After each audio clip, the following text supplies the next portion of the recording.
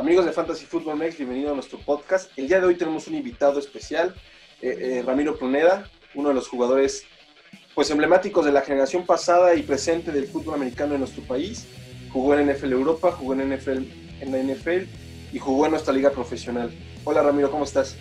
Bien, bastante bien. Muchísimas gracias por la invitación. Pues aquí estamos listos para lo que venga. Oh, bienvenido. Muchísimas gracias por estar aquí con nosotros. Y pues bueno, ¿qué te parece si comenzamos? Claro, le damos. Adelante. Perfecto. Eh, nos gustaría primero que nada saber cómo fue tu acercamiento a, y inicios del fútbol americano. ¿Qué te motivó? ¿Dónde empezaste? Platícanos un poquito al respecto. Pues fíjate, es una historia a lo mejor larga o corta, dependiendo, porque eh, conozco mucha gente de aquí en México que empieza desde muy chico a jugar fútbol americano. Yo realmente la primera vez que piso un casco y ya con, digo, perdón, que piso el campo ya con un casco puesto para mi primer juego fue a la edad de los 14 años, bueno, a punto de cumplir los 15, este, fue hasta la preparatoria.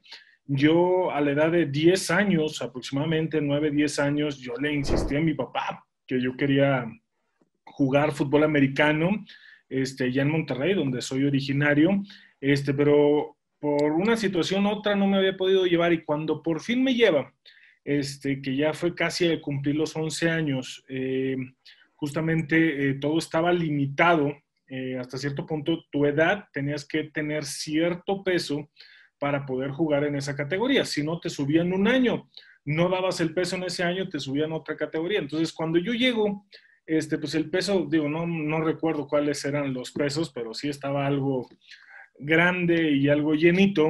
Era un niño gordito, por decirlo de alguna manera.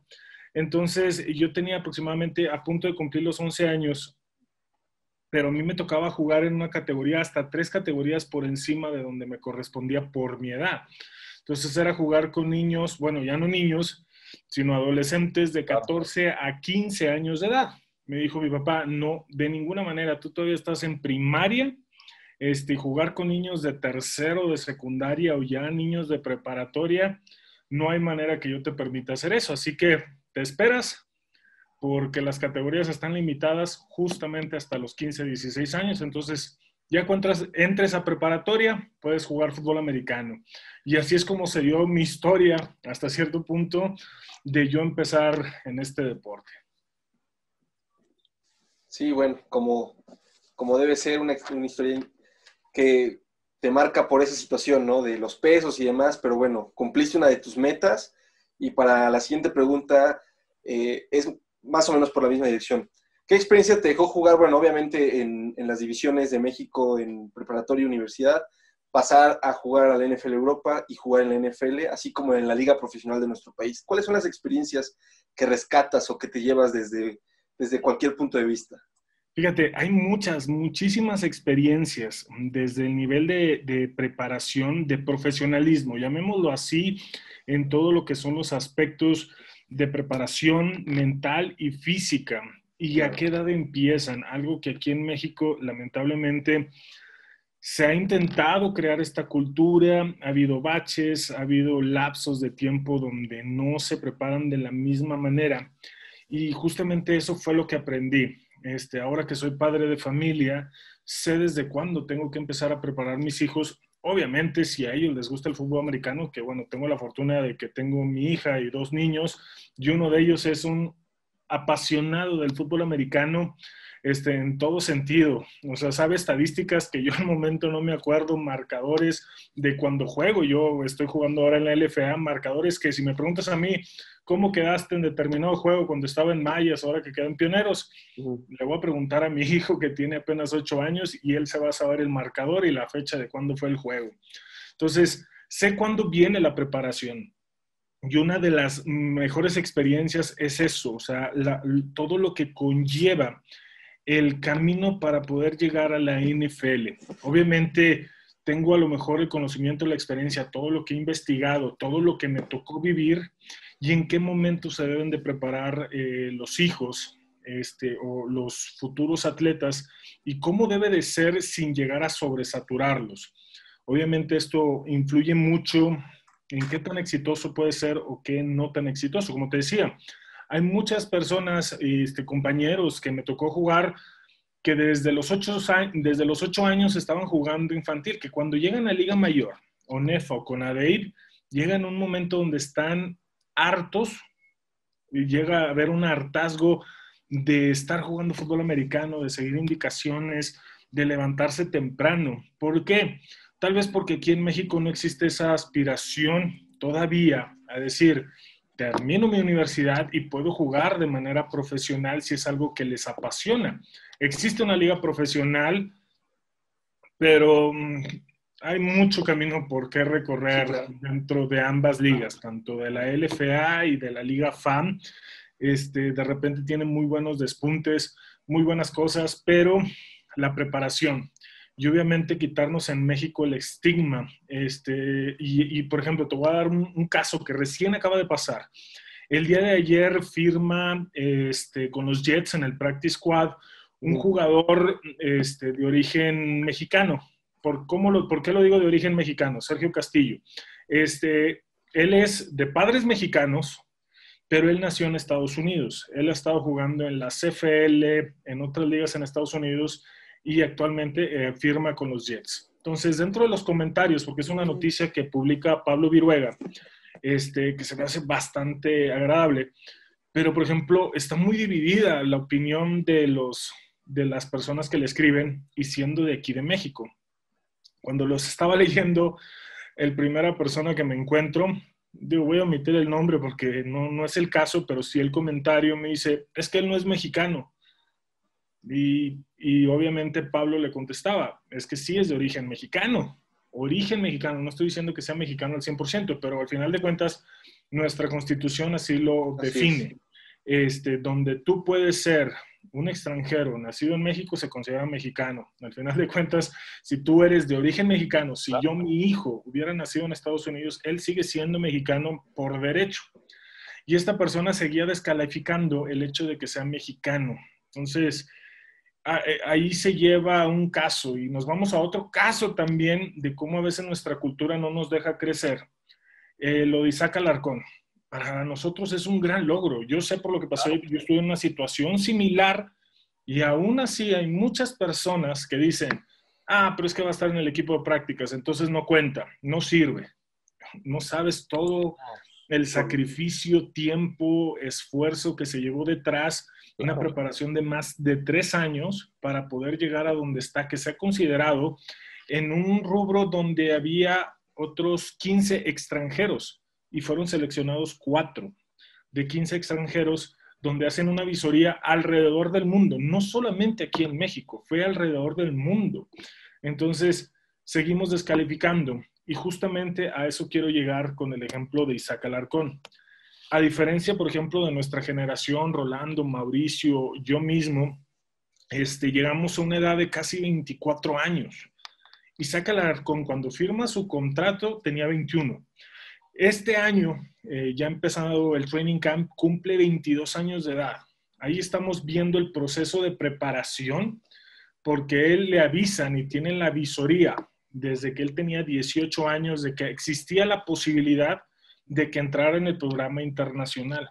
Y desde entonces se puso a trabajar para llegar a tener los números y las fechas. Entonces, mi mayor experiencia es trabajo, disciplina, que creo que con eso voy a, resumir mucho y es parte a veces cuando doy conferencias, es de lo que más hablo yo, que cuál es la persona eh, que puede, eh, que es una persona que tiene sueños y una persona que tiene metas. Y justamente a lo que yo me refiero es disciplina. Los sueños cuando te despiertas se pueden esfumar, se quedan ahí simplemente en la almohada, en esa noche que tuviste ese, ese sueño. Pero muy pocas personas agarran ese sueño, lo ponen en una meta como tal. ¿Y qué se requiere para cumplir esa meta? Disciplina, llámale trabajo, este, responsabilidad, llámale, ponle todos los demás valores, pero se va a resumir en disciplina, porque es hacer lo que tienes que hacer en el momento que lo tienes que hacer. Entonces, eso es la mejor experiencia que me pudo haber dejado la NFL a nuestra cultura mexicana. Sí, sin duda, yo comparto mucho la idea contigo. Eh, el mexicano, tristemente, y no solamente nuestro, en el fútbol, fútbol americano, es mucho desacreditar a los jugadores que llegan a, una situación. Estamos hablando como dices, como tú llegaste en su momento a un, a un camp con los Chiefs y que intentaste y que luchaste y que la gente dice, ah, pero es que no, pero es que no llegó bien. A ver, el hecho de que tú estés participando en un lugar como actualmente Isaac Alarcón jugando con los Cowboys o entrenado con los Cowboys, es un logro que muchos mexicanos ya quisiéramos haber tenido en su momento. Es triste hablar de esta situación que el mexicano a veces desacredita por Ah, mm, porque parece, a veces la teoría de los cangrejos, de el que quiere subir, lo jalan los demás, parece mentira, pero es una realidad de nuestro país, porque lo vemos en cualquier deporte. Llega la chica que juega tenis a Roland Garros y gana su primer juego de Roland Garros, y sí, eh, todas, todas las personas se emocionan y demás, pierde su partido y es que le faltó. Y, a ver, es la primera mexicana en 20 años que gana un partido de Roland Garros. Tenemos que aplaudir que una mexicana llegó hasta ese punto pero el mexicano desafortunadamente no ve, no ve esa situación en, esa, en, esa, en ese punto, lo ve en lo negativo.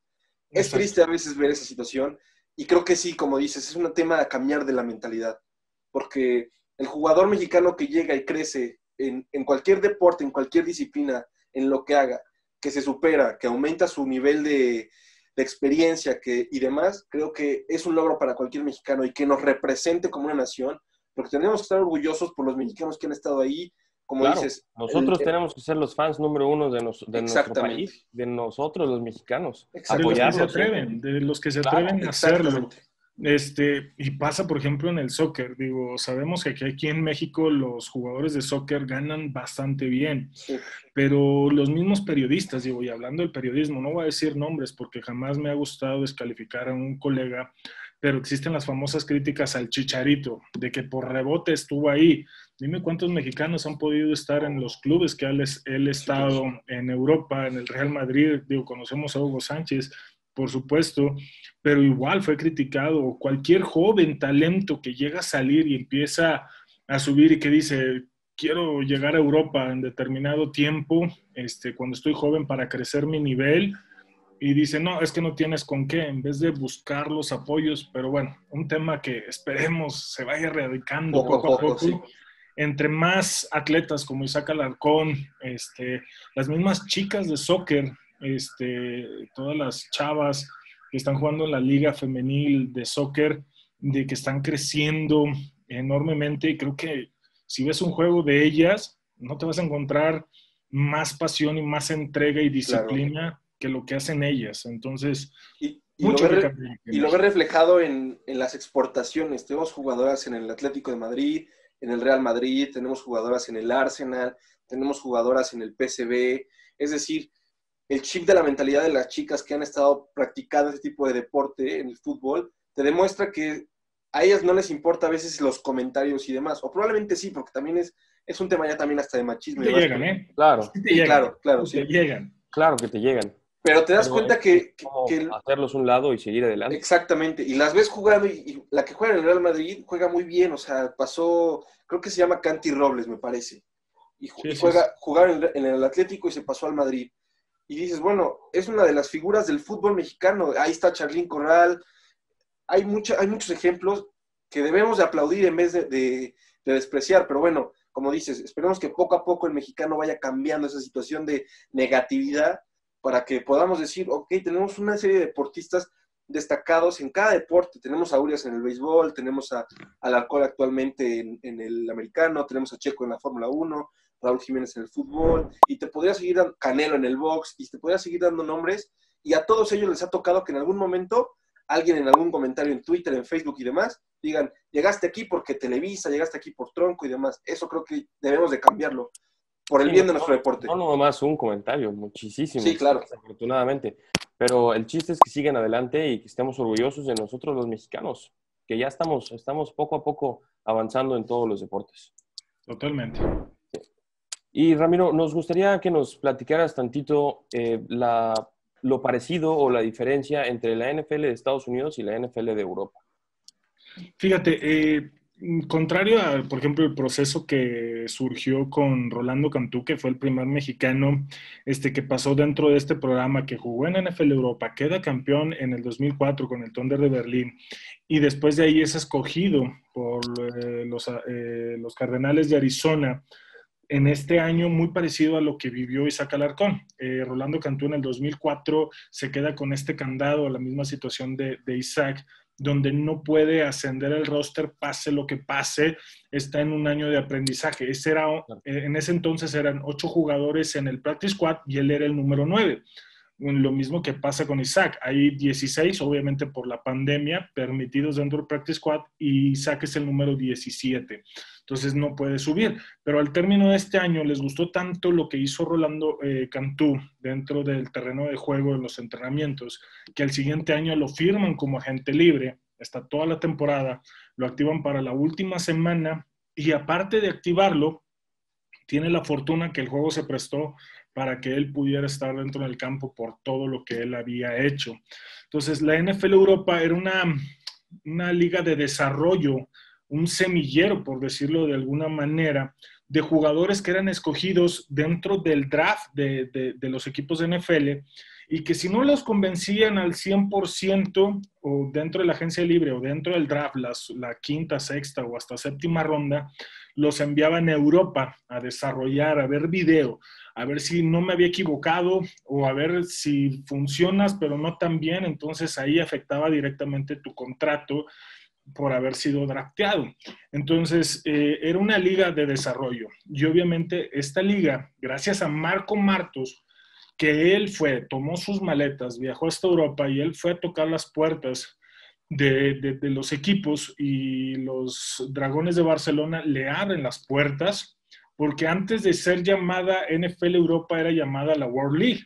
Entonces, él empieza ahí cuando la NFL adquiere todos los derechos, transforma el nombre y hace esta estructura, Marco Martos ya estaba ahí. Entonces, a raíz de eso y del talento que ven en él, es que, entre otros europeos, obviamente, eh, es cuando dicen, vamos a crear el programa internacional.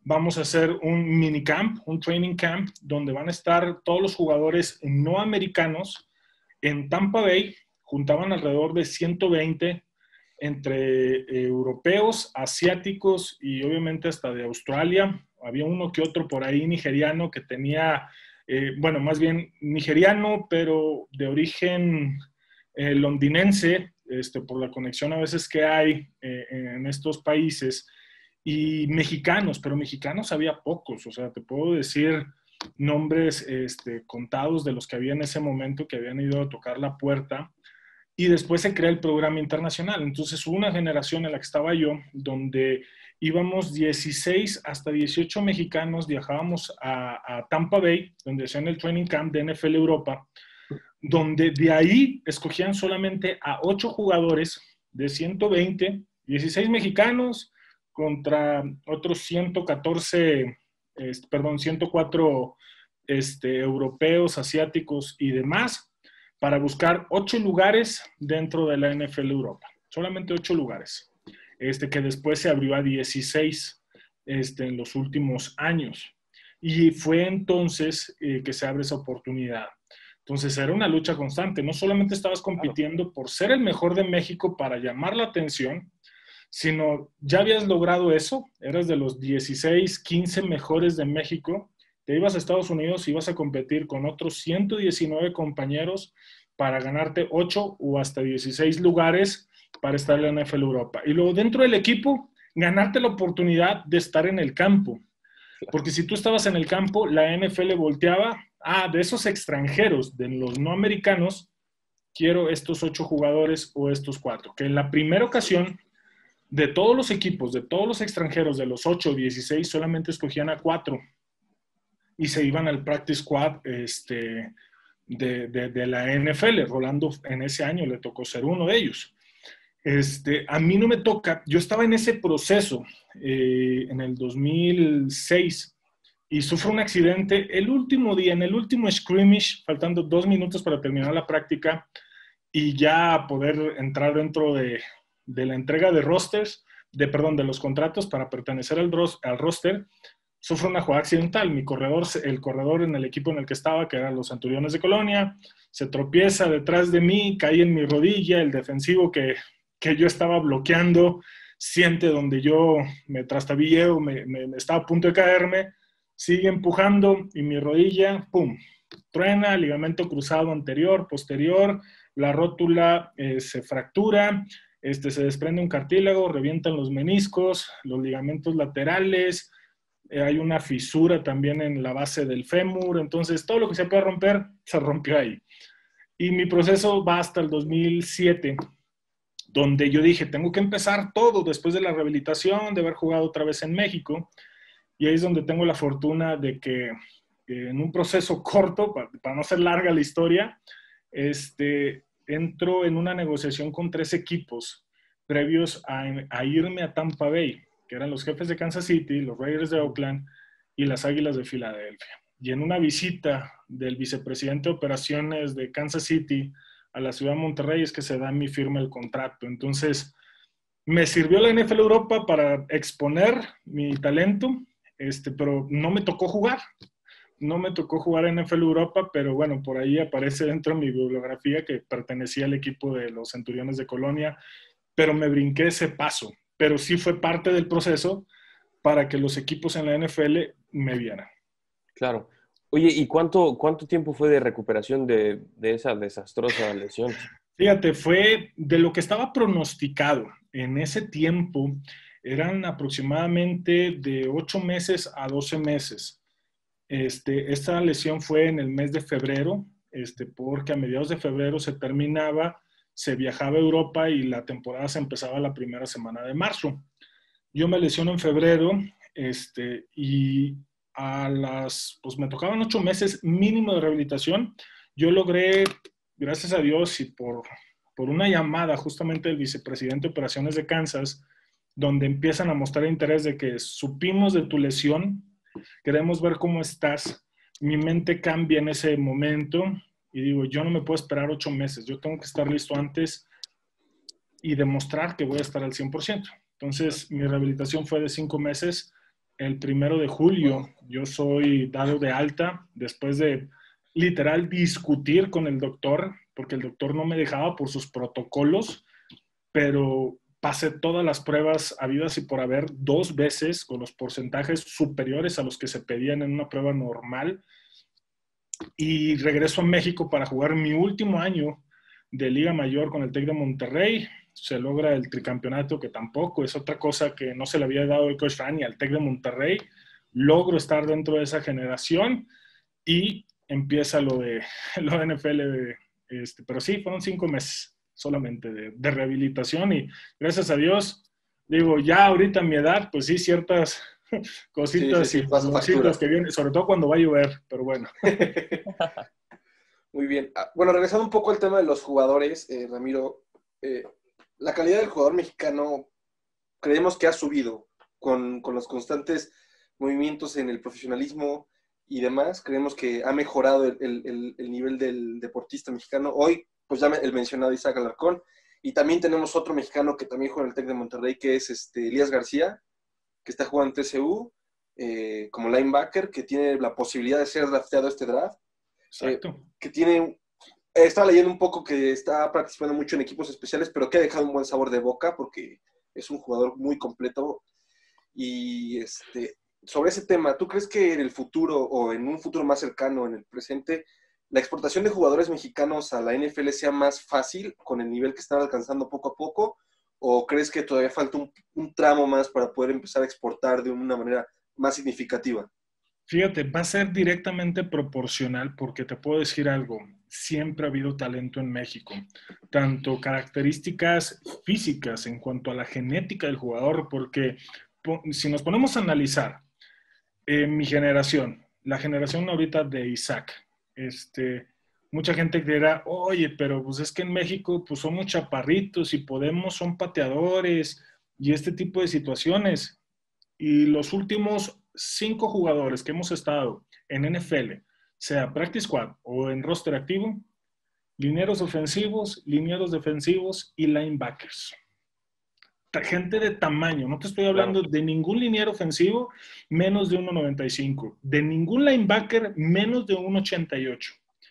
Está Eduardo Castañeda, Manuel Padilla, uno estuvo en los Broncos, el otro estuvo en Arizona. En ese momento, cuando eh, Eduardo Castañeda estuvo en Arizona fue cuando llegaron al Super Bowl y lo perdieron con los Steelers. Él tiene su anillo de la campeón de conferencia, que es el que le dan como, por así decirlo, a lo mejor no en la manera correcta, pero es como que el premio consolación, tu anillo de campeón de conferencia y no el anillo del Super Bowl. Pero al final de cuentas, talento y genética ha habido en México. ¿Qué va a pasar y qué tanto tiempo tiene que pasar cuando haya más gente como Isaac Alarcón? que esté consciente desde los 15, 17 años que tiene que empezar su preparación. Y ten por seguro que si alguien llega, como Isaac Alarcón, que mide 2 metros 2, pesa 140 kilos, tiene un porcentaje de grasa de 17-18%, que te corre las 40 yardas en menos de 5.20, que te hace más de 25 20 repeticiones con los 100 kilos. ¿Tú crees que si llega a la puerta a un programa internacional no se las van a abrir? se, le abrieron a, se abrieron a Isaac. ¿Por qué? Porque se decidió desde los 17 años que dijo, yo me voy a preparar. ¿Existe la posibilidad? Yo lo puedo hacer. Y es una brecha enorme. Habían pasado 10 años del último año en que había estado yo con los 49 de San Francisco a la llegada de Isaac Alarcón. El año pasado, Máximo González estuvo en, en ese programa Lamentablemente no logró este, ser seleccionado por algún equipo, pero dejó muy grata, muy grata sensación decir, en México hay hambre. Se fijaron, en Isaac ya lo tenían visto desde hace tres años, dos años contando, bueno, tres años contando este 2020, y ya hay otros dos prospectos en Monterrey, otro liniero ofensivo de 2.8, del mismo tamaño, fuerza, velocidad. Hay un liniero defensivo que apenas tiene 19 años, este, que todavía le faltan dos años por jugar, apenas estaba en su segundo año de Liga Mayor, que tiene la oportunidad, no en el 2021, pero en el 2022, de estar ahí igual que Isaac. Entonces, talento hay. Es cuestión de que se decidan y que cambie la mentalidad que hemos visto. Eh, menciona a los jugadores. Hay varios jugadores mexicanos que por sus propios medios buscaron jugar en universidades en Estados Unidos este, sea de división 2, sea división 3, sea cualquiera que sea la división, no estoy demeritando el talento, el nivel que hay en México, pero Estados Unidos es muy celoso en eso. Es mi deporte. Si tú juegas conmigo y yo te enseño a jugar, ten por seguro que te voy a dar la oportunidad. Y ese es a lo mejor el claro ejemplo de lo que vive Isaac Alarcón. Tienes talento, puedes jugar, pero te tengo un año para yo enseñarte lo que te haga falta para darte la confianza de que pelees por un roster. Sí, sí, sí, sin duda. Ese, es, el, comentario tal vez que, faltaba decirse. Yo creo que sí, el, americano debe decir, es mi deporte y, pues yo sé la, el secreto para hacerlo, porque yo creo que Isaac Alarcón tiene mucho talento creo que tiene las posibilidades de... Lo tiene, ¿eh? tiene todo. No le falta absolutamente nada. Lo único que requiere es ese año que, los, que los coaches digan, ese año yo le enseñé esto, aunque ya lo traiga, pero es parte de, lo, que sucede, de lo que sucede dentro de la cultura en la NFL. Me pasó a mí, me pasó a mí, le pasó a Rolando, que cuando yo decía que era mexicano o que era de México, ellos tenían la idea hasta mitad de la temporada que yo era de New Mexico y no de México. Hasta la semana 4 de la temporada logré, porque yo no me había dado cuenta, ellos platicaban conmigo y platicaban con ellos y me tomaban así. Pero en eso salió una plática porque llegó un, medio latino, no me acuerdo si Univisión o Telemundo, a hacer una entrevista y me dice, ah, es que pues, pues tú puedes hablar español, por eso te van a entrevistar. Me dice, no, es que yo soy de México. no, tú eres de New México. yo, no, no, no, México, el país del otro lado de la frontera, del río, ahí vivo yo. Y todos quedaron con una cara de sorprendidos de cuál era mi origen. Y me dice, pero tú jugaste en Estados Unidos college. Le dije, no, mi college fue allá en Monterrey, en México. ¿Y cómo juegas? ¿Y cómo hablas inglés? ¿Y cómo llegaste? Yo les hacía la broma a mis compañeros de que, oye, ¿cómo llegaste a Estados Unidos? Ah, no, pues mira, agarré un burrito, llegué a la frontera y luego ya tomé un avión ahí en Houston para acá. Y te aseguro que más de la mitad creyeron que eso era cierto. Bueno, entonces digo, parte de, ya después en, literal se metieron a investigar. Me dicen, oye, pero México es una ciudad. Yo pensé que era así. Me contaste lo del burrito. Y yo dije, ah, broma. Estaba bromeando, eso no es cierto. Tenemos aeropuertos, esto. Ah, ok. No, pues discúlpame. Ya no te preocupes, digo, parte de. Sí, pues sí. Así es sin, duda, sin, duda, esperemos que, que vaya mejorando la, la, inclusión de mexicanos en la NFL, porque sin duda alguna en el campo nos sabemos defender bastante bien. Todos, todos los que han llegado allá, y hay muchísimos aquí en México que tienen muchísimo potencial para poder competir en la NFL. Y bueno, y nos gustaría pasar al tema de los medios de comunicación. ¿Cómo, cómo fue tu involucramiento en los medios de comunicación? Ahí sí, digo, se lo voy a agradecer a un amigo muy en especial, Mauricio, este, que gracias a él es de que está la oportunidad de regresar, porque era uno de los compañeros que ya estaba trabajando ahí en ESPN. Y justamente yo cuando regreso de Estados Unidos, porque después de haber jugado en San Francisco en el 2010, me pasé dos años, bueno, tres temporadas, para ser exacto, en dos años de fútbol arena. Yo con la intención de mantenerme activo y de buscar una oportunidad, ya sea otra vez en algún equipo, eh, buscar mantenerme activo. Porque sí es difícil la competencia. Muchas veces cuando estás en tu tercer, cuarto año, haces muy buen trabajo, pues ya, les, ya le piensan en, en renovarte un contrato porque dices, pues viene un jugador novato, me sale cuatro veces más barato que tú, este, y a lo mejor no hace el mismo trabajo que tú, pero en una de esas descubro a la próxima estrella. Entonces toman ese riesgo, es, como una empresa. Me mantengo jugando fútbol arena en Estados Unidos, en la AFL y FL, dos ligas que eran muy competitivas ahí, que pasaban NFL Network en ese entonces eh, por televisión. Y ya regreso yo a México y me paso cuatro años este, coachando en universidades aquí. Primero en la Universidad Regiomontana, estuve en el TEC de Monterrey, Campus Estado de México, y después pasé a la Universidad de Anáhuac, México Norte. Y justamente ahí el programa que, en el cual estoy en NFL Live, este, acá en ESPN, empieza, cambia su formato, porque antes tenía un programa que se llamaba NFL Semanal y lo pasaban obviamente una vez a la semana pero cambian ese formato principios del 2017, si no me equivoco, este, donde mm, lo van a pasar diario y durante todo el año, de lunes a viernes y todo esto. Entonces, ellos empiezan a buscar talentos, estaban Mauricio y Gustavo, Gustavo Tella, este, otro mexicano de los que estuvo en NFL Europa, y yo todavía traía un teléfono de Monterrey cuando digo, ya no voy a regresar a Monterrey porque ahí es donde tenía mi residencia, pero por cuando me vine a trabajar al TEC Estado de México, pues empiezo a rentar aquí y de repente a los cinco años, pero digo, ya no voy a regresar a, ya no voy a regresar a Monterrey. Vendí mi casa en Monterrey, compramos casa aquí, mi, mi esposa es de aquí de, del Estado de México y es cuando digo, pues bueno, cambio mi número del 81 por el 55 de aquí de México. Y en, ellos me estaban buscando, pero no dieron con mi teléfono. Entonces, pues pasa un año y en el 2000, a finales del 2017, este, recibo una llamada por parte de uno de los productores, pero de Fox Sport, para hacerme un casting. Ellos obviamente tienen las transmisiones de los programas de, varios juegos del mediodía y de las 3 de la tarde. Entonces, obviamente querían más gente para todo esto. Yo voy, hago el casting, les gusta, me dicen, perfecto.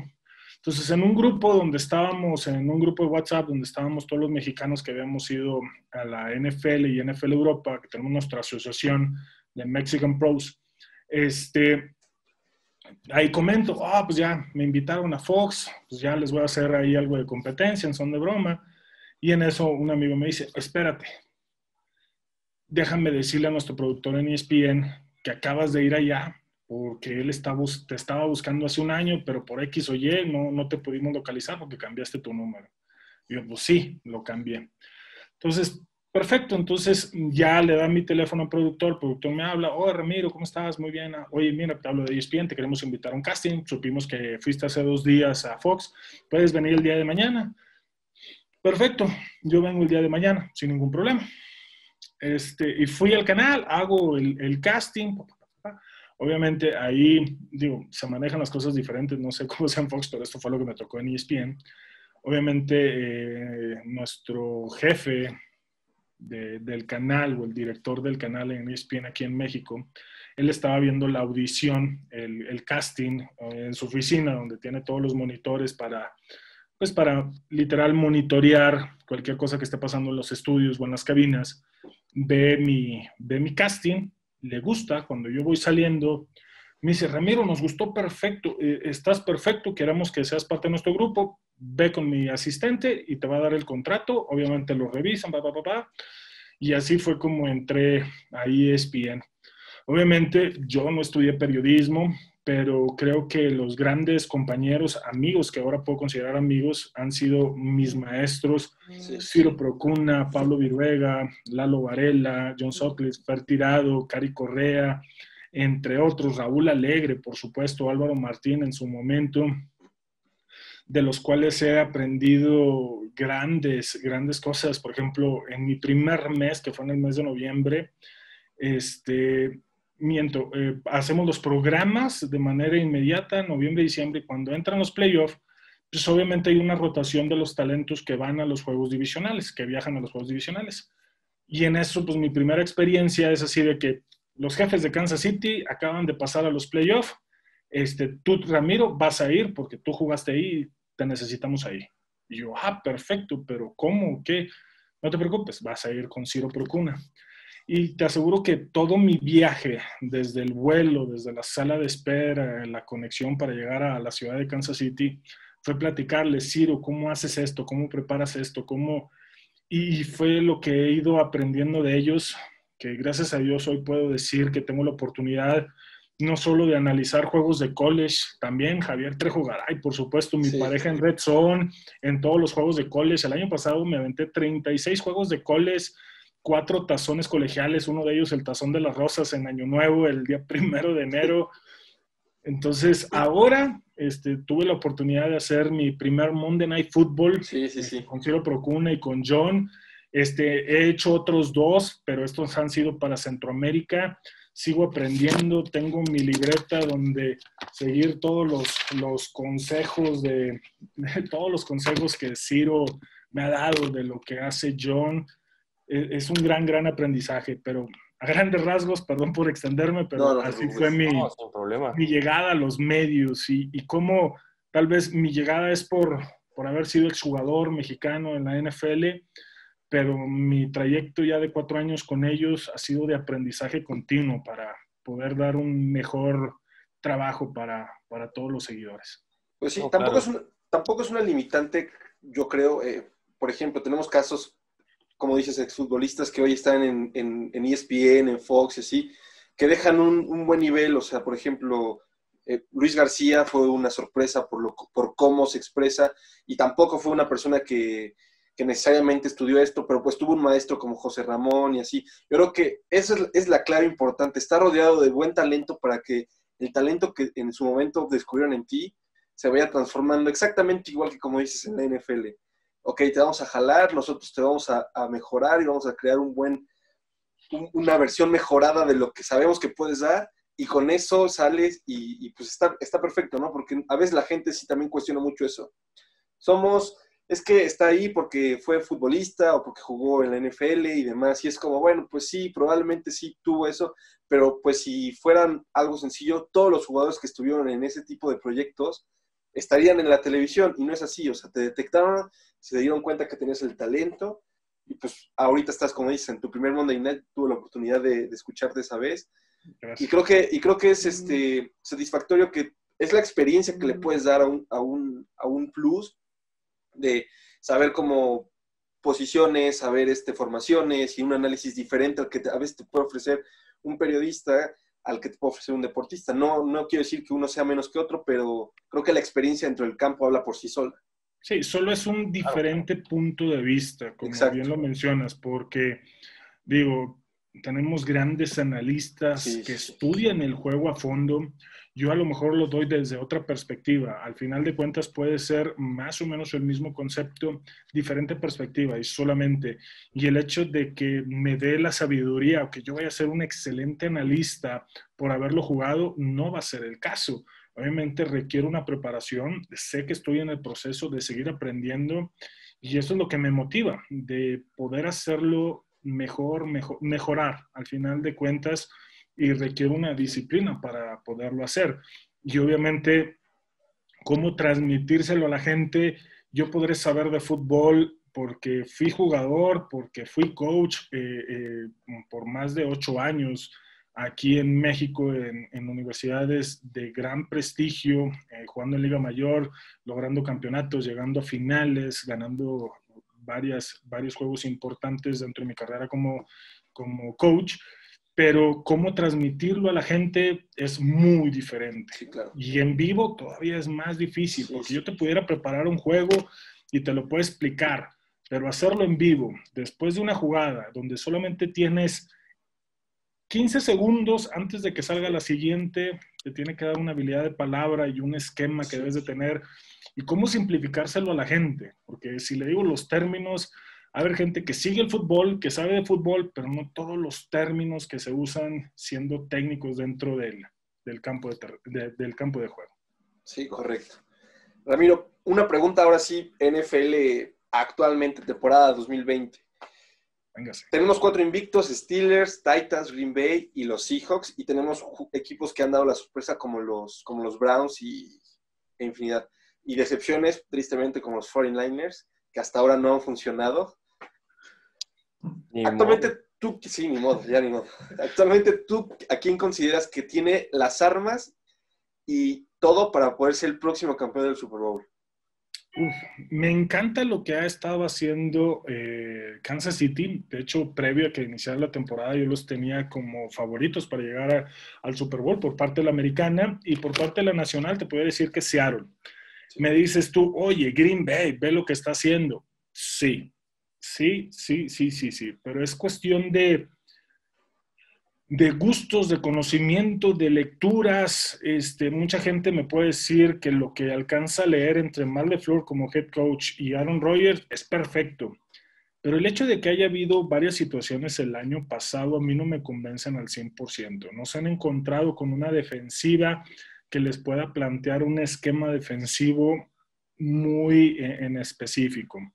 Eh, los jefes de Kansas City por ahí ya dieron rasgos de que le están encontrando la cobertura especial. Este, los Chargers fueron los primeros, un equipo que ha mantenido la orilla de lo que ha estado haciendo porque terminan doblándose en el último cuarto cuando se mantienen en la pelea, pero es extraordinario lo que hace Justin Herbert. Este, pero Chargers demostró que Kansas hay un esquema de coberturas, de que se le dificulta a Patrick Mahomes, porque él puede tener el desarrollo de la jugada y dónde quiere que se coloque el receptor, pero a veces el receptor no lo va a entender al 100% lo revolucionado que está Patrick Mahomes. Los Patriotas, digo, sabemos Belichick, el planteamiento defensivo los mantuvo durante tres cuartos, pero obviamente con los errores mentales, el cansancio, todo lo que pasaron esa semana, igual.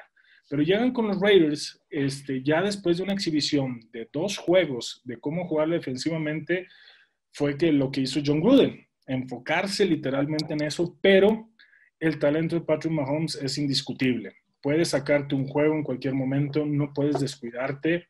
Y lo que hace Seattle me encanta porque te puede fallar durante tres cuartos, pero como dice el dicho, no es cómo empieces, sino cómo terminas, y eso en el cuarto cuarto eliminan.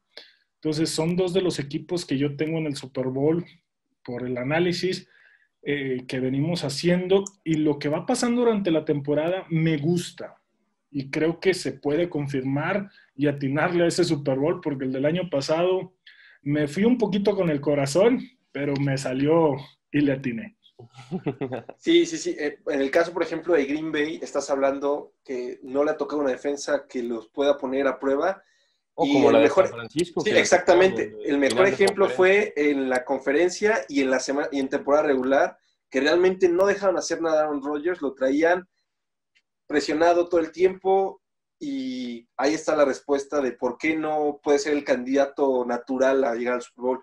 En el caso también de los Seahawks, pues estamos hablando de que los Vikings le jugaron un juego perfecto los primeros tres cuartos, le corrieron el balón, creo que descubrieron que corriendo el balón con una buena línea puede ser la posibilidad de mejorar eh, la, no mejorar, sino la debilidad de los Seahawks en, en defensiva. Sí, pero, pero Pero ojo, porque muchos hablan de que fue una mala decisión de la jugada que manda Zimmer para que Madison corra el balón.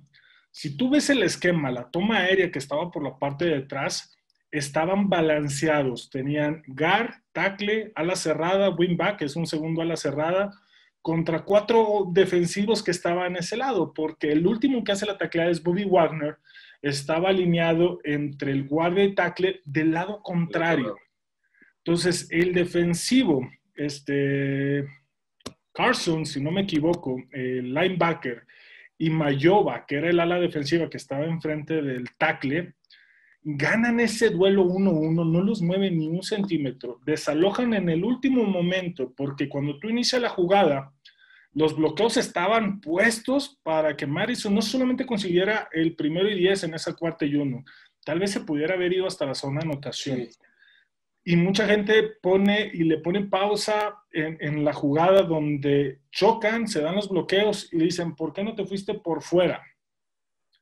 Cuando el jugador toma el balón, asegura el balón y da su segundo paso, el bloqueo se empieza a desarrollar y estaba abierta la grieta.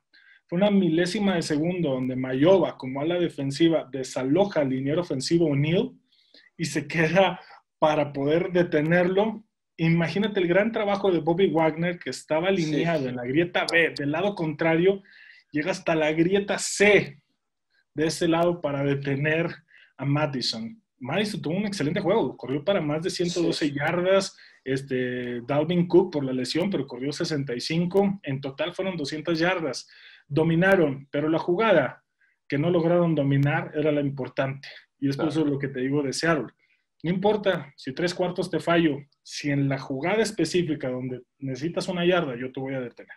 Sí, tienen esos jugadores que pueden cambiar todo el juego en una jugada. Bobby Wagner y Jamal Adams, está lastimado ahorita, pero también es otro jugador que en cualquier jugada te puede cambiar el, el ritmo de juego. Lo extrañan, ¿eh? Vaya que lo extrañan. Es ese linebacker extra que puede llegar. Por eso no había ese linebacker que llegara en ese soporte de carrera como lo hace Yamal y, y, en, la ofensiva con la que ganan los Seahawks, solamente hubo una conexión.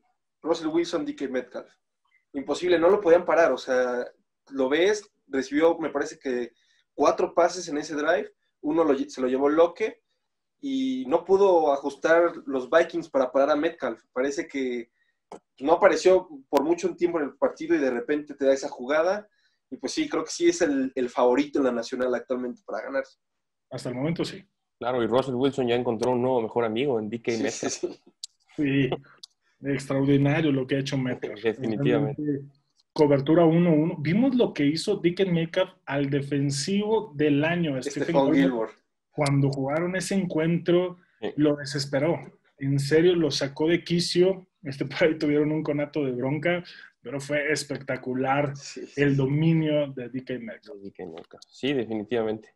Y bueno, nos gustaría que nos, que nos platicaras de, tu equipo de fantasy. ¿Quién es, quién es tu gallo en, en, tu equipo de fantasy de este año?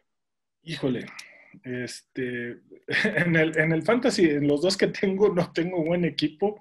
Uno por error mío, por estar haciendo una columna para ESPN.com, se me olvidó la hora del draft y, y, en eso se hizo el autopic.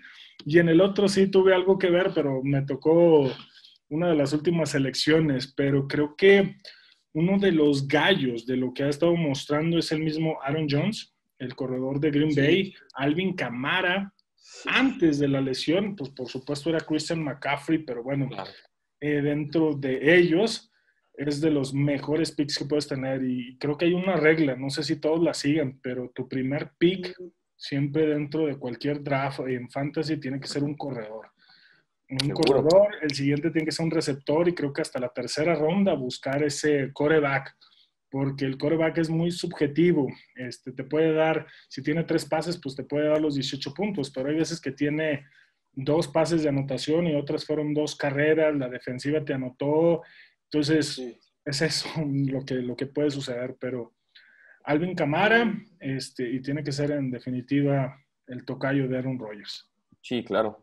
Y bueno, a mí, a mí me ha salvado varias Patrick Mahomes esta temporada. Ese es mi, mi póliza de seguro tener el Patrick Mahomes en, mi sí, digo, lo mínimo que te puede dar son 12, 18 puntos. Es el promedio de pases de touchdown. y de vez en cuando por ahí uno por carrera, pero por ejemplo de los novatos me gusta mucho lo que está haciendo Justin Herbert. Oh, Justin Herbert. Los corebacks. respetos. Nadie, nadie esperaba que fuera tan rápido el adaptarse a la NFL. De hecho, había una estadística, hasta la semana número 3 estaba en el, más del 65% de ligas fantasy estaba disponible Justin Herbert. Sí, sí. nadie, nadie lo consideró, porque aparte ni siquiera tenían pensado empezar la temporada con él por la situación de Tyro Taylor y todo, pero pues bueno, fue la revelación, bueno, ha sido la revelación y seguiría siendo. Y, una de las decepciones, bueno, a mí que lo tengo en un par de ligas, lo tomé en la tercera ronda, como mencionas, eh, a Lamar Jackson pensaba que Lamar Jackson este año iba a estar y muy poco. Lleva dos juegos de 13 puntos y este, esta semana le corrió creo que una yarda a Cincinnati. Entonces te das cuenta que ya la magia de, Maho, de Lamar en ese aspecto está terminando y dices, ahí está el... Lo que vimos el año pasado de Lamar Jackson fue su tope en cuanto a su carrera. Fue su tope no va a llegar a tener una temporada igual como la, como la que mostró en el 2019. ¿Por qué? Porque fue de manera inmediata su crecimiento como coreback. De haber tenido un porcentaje de completos de arribita apenas del 50%, no lo tengo muy presente, sube 14 puntos porcentuales en sus pases completos al año pasado, estaba cerca del 65%. Tuve los números y se creció mucho, estuvo practicando, pero tú ves el esquema de jugadas y todos eran a la cerrada, a la cerrada, Andrews, Andrews, Andrews, Andrews, Andrews y nada más.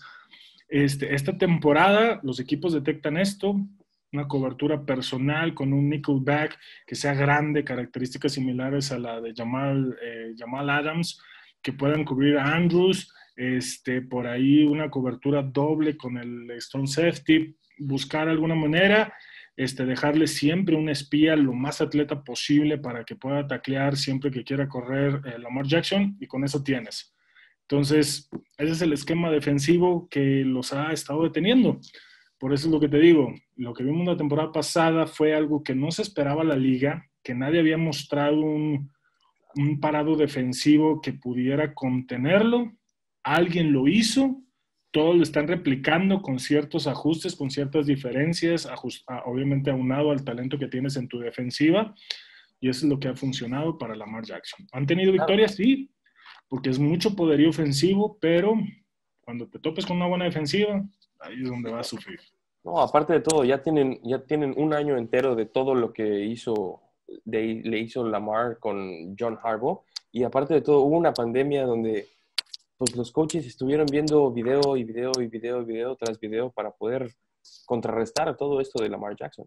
Sí, tuvieron horas extras para revisar video. Exactamente. de por sí son personas, los coaches, me consta, obsesionados de revisar video.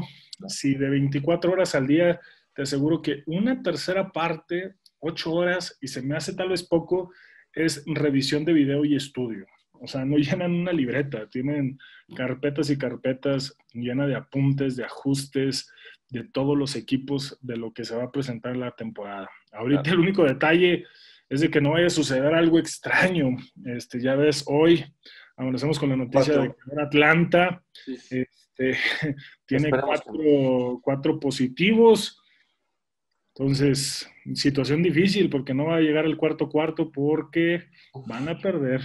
Sí, sí, sí.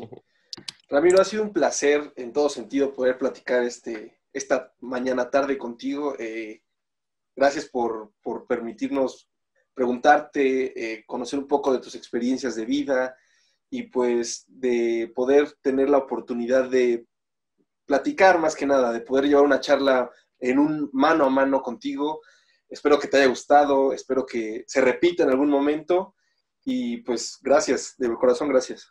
No, muchísimas gracias a ustedes. Y ahí, bueno, ahí para la gente que, los escuche, este, les recuerdo tantito mis redes sociales. Sí, por favor, por favor. Estamos en Twitter como MR Pruneda, Mr. Pruneda por la abreviación. En Facebook, Ramiro Pruneda, así tal cual. Este, y en Instagram es Pruneda-ESPN, ahí para Ahí subo la agenda del día. Eh, Twitter lo uso un poquito más para información este, mucho más formal. En Instagram eh, lo utilizo este, para cuestiones también a veces proyectos personales, que el mm. próximo año hay uno bastante bueno. Espero que las condiciones de, de salubridad en México se presten para poderlo hacer. Esperemos que ahí vamos a, a, traer a varios jugadores de los 49 de San Francisco, este, dos salones de la fama, dos jugadores actuales. Estamos trabajando en cuestiones contractuales, estamos a días de, de poderlo cerrar, va a ser en Guadalajara, tenemos otro evento en Querétaro con los Vaqueros de Dallas. Entonces, va a haber, va a haber buenas cosas para el próximo año. Entonces, toda esa info ahí es en Instagram, noticias y demás cosas en, en Twitter y en Facebook. Nos pasan los datos porque mi, compañero Gustavo es Cowboy y yo soy 49er, entonces le acabas de dar el niño al dedo. Exactamente. Las fechas importantes para el próximo año es abril, mayo y junio. Perfecto. Y muchas gracias. Te repito que fue Ahí nomás les adelanto tantito de quién podría venir para los 49 de San Francisco. Ándale. Ese mero va a venir. No, pues súper. Ese, ese. Que se arme entonces. Que se arme, claro. ¿Qué te diré? Te lo puedo decir, porque el año antepasado estuvo Sick Elliott este, en Querétaro. Ya. Este año, un salón de la fama. Este, ¿cómo te lo digo? Pero traía el 88. Ufa. En los vaqueros de Dallas. Ese va a venir. Pues, sí, es, es colega de la televisión. Nos convenciste definitivamente. Salió, salió, salió, salió en una película, ¿no? Exactamente. Eh, sí, claro. Y que estaba en la cárcel. Exacto, exacto. Ese también. Ahí está. y otro también va a venir. De hecho, él tiene una tequilera ahí en Guadalajara. Ah, wow. Eso les digo todo, de los vaqueros de Dallas. También Salón de la Fama. Vale. Pues Ramiro, Gracias por todo. ¿eh? Sí, Gustavo, ¿algo que agregar? No, pues muchísimas gracias a todos por escucharnos el día de hoy. Asegúrense de darnos follow en todas nuestras redes sociales y pregúntanos cualquier duda que tengan de Fantasy Football. Estamos para ayudarles. Nos vemos en la próxima, amigos. Próximo invitado, sorpresa, igual que los invitados sorpresas de Ramiro.